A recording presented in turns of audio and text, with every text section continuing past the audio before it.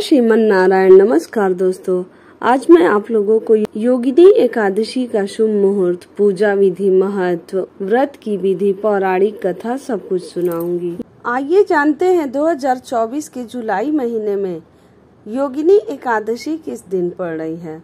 आषाढ़ माह के कृष्ण पक्ष की ग्यारहवीं तिथि पर योगिनी एकादशी का व्रत किया जाएगा। भगवान श्री कृष्ण ने खुद युधिष्ठिर को योगिनी एकादशी के महत्व के बारे में बताया था। ऐसी मान्यता है कि जो इस व्रत को करता है, उसे पृथ्वी पर सभी तरह के सुख प्राप्त होते हैं। इसके साथ ही व्यक्ति जन्म, मरण के बंधन से मुक्ति पाता है। योगिनी एकादशी का व्रत करने से अट्ठासी हज़ार ब्राह्मणों को भोजन कराने के समान फल की प्राप्ति होती है और व्रती को बैकुंठ धाम की प्राप्ति होती है। इस साल योगिनी एकादशी एक या दो जुलाई किस दिन है। आइए जानते हैं। पंचांग के अनुसार आषाढ़ माह के कृष्ण पक्ष की एकादशी तिथि एक जुलाई को सुबह दस बजकर छब्बीस मिनट पर शुरू होगी।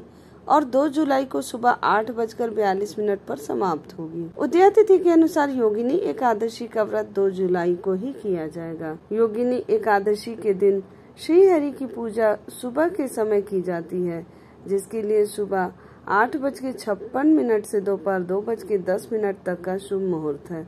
वही योगिनी एकादशी के व्रत का पारण तीन जुलाई 2024 को सुबह पाँच बज के अट्ठाईस मिनट से सात बज के दस मिनट के बीच किया जाएगा। एकादशी के दिन सुबह स्नान आदि से निवृत्त होकर व्रत शुरू करने का संकल्प लें। तत्पश्चात पूजन के लिए मिट्टी का कलश स्थापित करें। उस कलश में पानी अच्छत और मुद्रा रखकर उसके ऊपर एक दिया रखें और उसमें चावल डालें। भगवान विष्णु की प्रतिमा स्थापित करें। ध्यान रखें कि प्रतिमा पीतल की ही हो।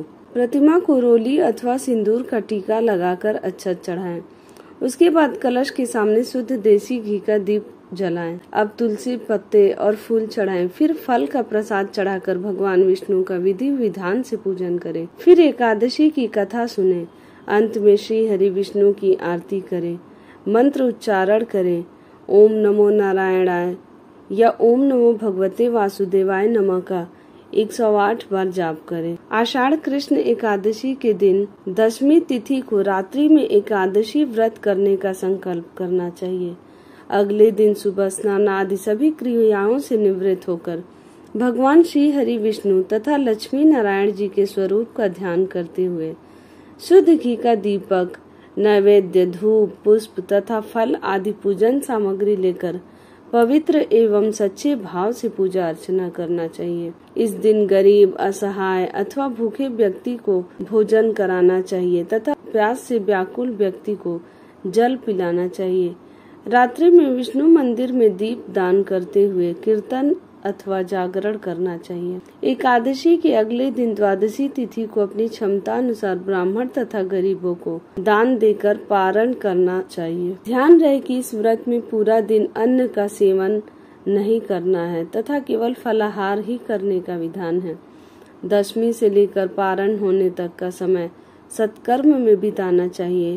तथा ब्रह्मचर्य व्रत का पालन करना चाहिए। योगिनी एकादशी से समस्त पाप दूर हो जाते हैं और व्यक्ति पारिवारिक सुख पाता है। यह व्रत सभी उपद्रवों को शांत कर सुखी बनाता है।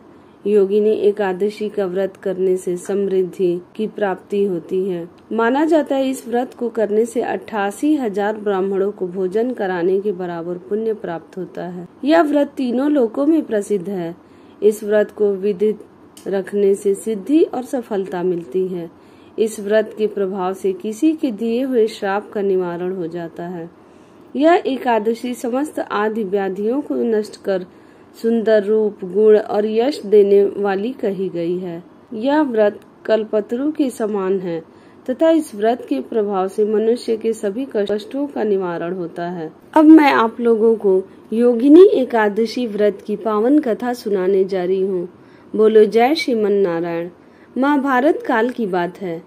एक बार धर्मराज युधिष्ठिर ने भगवान श्री कृष्ण से कहा, हे त्रिलोकीनाथ, मैंने ज्येष्ठ माह की शुक्ल पक्ष की निर्जला एकादशी की कथा सुनी। अब आप कृपा करके आषाढ़ माह के कृष्ण पक्ष की एकादशी की कथा सुनाइए। इस एकादशी का नाम तथा महात्म क्या है? सो अब मुझे विस्तार पूर्वक बताएँ।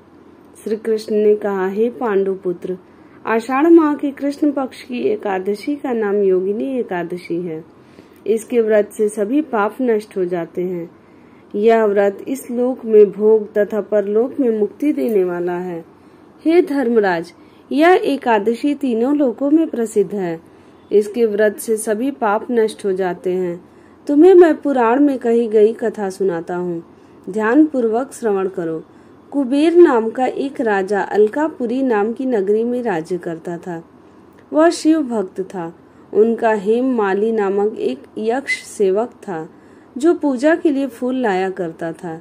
हेम माली की विशालाक्षी नाम की अति सुंदर स्त्री थी। एक दिन वह मान सरोवर से पुष्प लेकर आया, किंतु कामासक्त होने के कारण पुष्पों को रखकर अपनी स्त्री के साथ रमण करने लगा। इस भोग विलास में दोपहर हो गई। हेम माली की राह देखते देखते जब राजा कुबेर को दोपहर हो गई तो उसने क्रोध पूर्वक अपने सेवकों को आज्ञा दी कि तुम लोग जाकर पता लगाओ कि हेम माली अभी तक पुष्प लेकर क्यों नहीं आया। जब सेवकों ने उसका पता लगा लिया तो राजा के पास जाकर बताया, हे राजन वह हेम माली अपनी स्त्री के साथ रमण कर रहा था। इस बात को सुनकर राजा कुबेर ने हेम माली को बुलाने की आज्ञा दी। डर से कांपता हुआ हेम माली राजा के सामने उपस्थित हुआ। उसे देखकर कुबेर को अत्यंत क्रोध आया और उसके होठ फड़फड़ाने लगे। राजा ने कहा, अरे अधम, तूने मेरे परम पूजनीय देवों को भी देव, भगवान शिव जी का अपमान किया है। तुझे श्राप देता हूँ। तू स्त्री के वियोग में तड़पे और मृत्यु लोक में जाकर कोढ़ी का जीवन व्यतीत करे। कुबेर के श्राप से वह तक्षण स्वर्ग से पृथ्वी पर आ गिरा और कोढ़ी हो गया। उसकी स्त्री भी उससे बिछड़ गई। मृत्यु लोक में आकर उसने अनेक भयंकर कष्ट भोगे, किंतु शिव की कृपा से उसकी बुद्धि मलिन न हुई और उसे पूर्व जन्म की भी सुध रही। अनेक कष्टों को भोगता हुआ, जब अपने पूर्व जन्म के कुकर्मों को याद करता हुआ वह हिमालय पर्वत की तरफ़ चल पड़ा। चलते चलते वह मार्कंडे ऋषि के आश्रम में जा पहुँचा। वह ऋषि अत्यंत वृद्ध तपस्वी थे। वह दूसरे ब्रह्मा के समान प्रतीत हो रहे थे और उनका वह आश्रम ब्रह्मा की सभा के समान शोभा दे रहा था। ऋषि को देखकर हेम माली वहाँ गया और उन्हें प्रणाम करके उनके चरणों में गिर पड़ा। हेम माली को देखकर मार्कंडे ऋषि ने कहा, तूने कौन से निष्क्रिय कर्म किए हैं, जिससे तू कोढ़ी हुआ और भयानक कष्ट भोग रहा है? महर्षि की बात सुनकर हेम माली बोला, हे मुनि श्रेष्ठ मैं राजा कुबेर का अनुचर था। मेरा नाम हेम माली है। मैं प्रतिदिन मानसरोवर से फूल लाकर शिव पूजा के समय कुबेर को दिया करता था। एक दिन पत्नी सहवास के सुख में फंस जाने के कारण मुझे समय का ज्ञान ही नहीं रहा और दोपहर तक पुष्प न पहुँचा सका। तब उन्होंने मुझे श्राप दे दिया कि तू अपनी स्त्री का वियोग और मृत्यु लोक में जाकर कोढ़ी बनकर दुख भोग। इस कारण मैं कोढ़ी हो गया हूँ तथा पृथ्वी पर आकर भयंकर कष्ट भोग रहा हूँ। अतः कृपा करके आप कोई ऐसा उपाय बतलाएँ जिससे मेरी मुक्ति हो। मार्कंडे ऋषि ने कहा हेम माली, तूने मुझे सम्मुख सत्य वचन कहे हैं, इसलिए मैं तेरे उद्धार के लिए एक व्रत बताता हूँ। यदि तू आषाढ़ माह के कृष्ण पक्ष की योगिनी नामक एकादशी का विधान पूर्वक व्रत करेगा तो तेरे सभी पाप नष्ट हो जाएँगे। महर्षि के वचन सुन हेम माली, अति प्रसन्न हुआ और उनके वचनों के अनुसार योगिनी एकादशी का विधान पूर्वक व्रत करने लगा। इस व्रत के प्रभाव से अपने पुराने स्वरूप में आ गया और अपनी स्त्री के साथ सुख पूर्वक रहने लगा। भगवान श्री कृष्ण ने कहा, हे राजन, इस योगिनी एकादशी की कथा का फल अट्ठासी हज़ार ब्राह्मणों को भोजन कराने के बराबर है। इसके व्रत से सभी पाप नष्ट हो जाते हैं और अंत में मोक्ष प्राप्त करके प्राणी स्वर्ग का अधिकारी बनता है। बोलो, जय श्रीमन नारायण अगर आपको मेरी यह कथा अच्छी लगी हो तो मेरे चैनल को लाइक करें, सब्सक्राइब करें, शेयर करें और कमेंट में जय श्रीमन नारायण ज़रूर लिखें।